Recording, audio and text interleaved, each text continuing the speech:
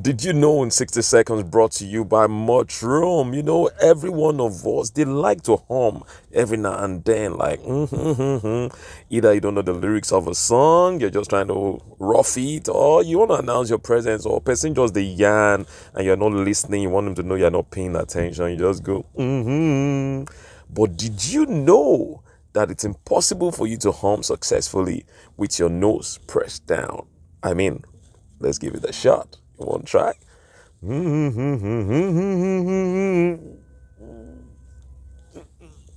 Impossible, man. Impossible. I bet you did not know. So thank me later.